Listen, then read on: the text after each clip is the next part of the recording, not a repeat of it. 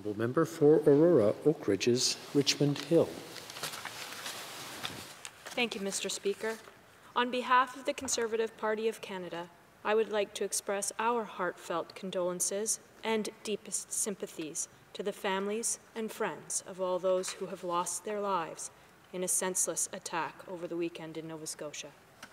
Mes pensées et mes prières et celles de toute l'opposition officielle accompagnent leurs familles et leurs proches. Constable Heidi Stevenson, a 23-year veteran of the RCMP, a mother of two and a loving wife, killed in the line of duty. Aaron Tuck, Jolene Oliver, and Emily Tuck, a family of three. Heather O'Brien, a licensed practical nurse.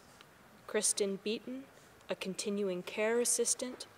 Lisa McCully, a teacher at Debert Elementary School.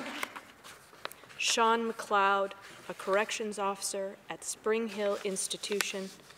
Alanna Jenkins, a corrections officer at the Nova Institution for Women. Tom Bagley, a neighbor who reportedly died trying to help. Just a few of the Canadians killed during this most atrocious shooting in Canadian history. Mes pensées, mon cœur et mes prières accompagnent les proches de ceux qui ont perdu la vie lors de cette attaque innommable. I would also like to wish a speedy recovery to Constable Chad Morrison, who was injured. What has unfolded is incomprehensible. Nova Scotians, and indeed all Canadians, have not only lost incredible members of their communities, but they have lost a sense of security. Face au crime immoral et vice, nous nous demandons naturellement pourquoi. Comment cela a-t-il pu se produire? Pourquoi est-ce arrivé? This tragedy is a painful reminder of the risk that all of our first responders take to keep Canadians safe. As they put on their uniforms and brave the unknown, Canadians rest easy knowing that they are protected in their communities. Tous les jours, nos courageux agents d'application de la loi mettent leur vie en danger et leurs familles en portent le fardeau. J'aimerais prendre un moment pour remercier tous les premiers intervenants qui traitent cette situation difficile avec professionnalisme et je pense à ceux qui ont perdu des collègues. But every single day, our brave law enforcement officers put their lives on the line and their families bear that burden.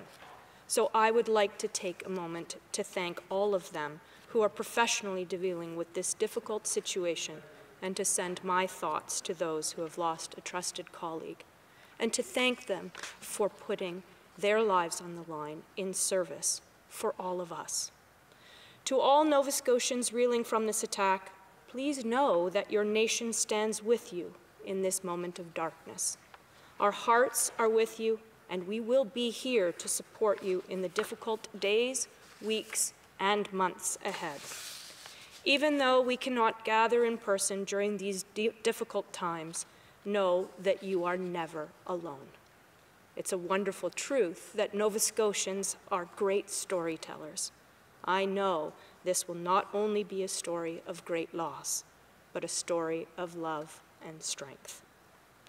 Canadians are known for their resilience, for their love of country, of family, and of community.